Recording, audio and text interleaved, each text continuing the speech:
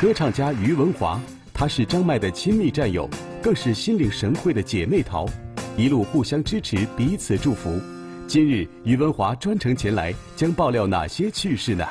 我记得我到团里不久，然后呢，我们俩就相约说，嗯，那会儿好像主要演员只有五个人，嗯，然后我们俩就说，我们谁也不许来说是非，嗯，谁也不讲谁的长短，对，好好做自己的事情，这是他跟我说的。然后这是我们俩之间作为战友姐妹，我觉得一个让我可能此生都很难忘的一个约定，因为这个约定让我们知道我们。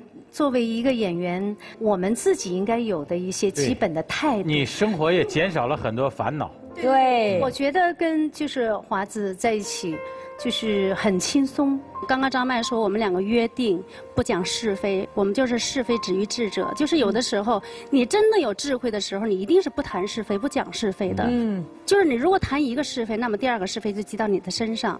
然后另外还有一点，他也说了，我们两个。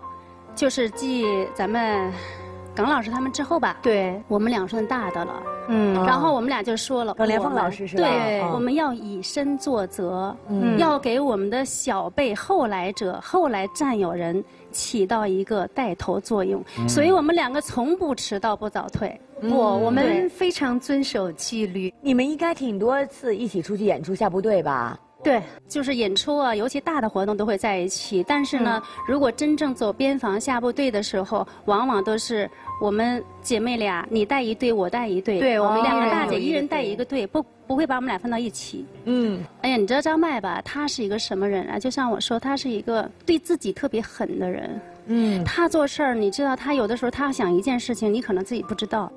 当我们比如说说一件事情的时候，他的那个脑子，嗯。他根本就任何人没看，他完全就是通过他的眼神和他的那个那种表情，你就看到他他的脑子极度在运转。哎呀，特认真，他真的是这样，他就特别往里钻，而且呢，就不容易往外跳。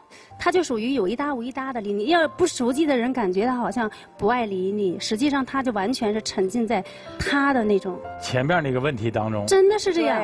其实我们是属于心里很相通的。嗯。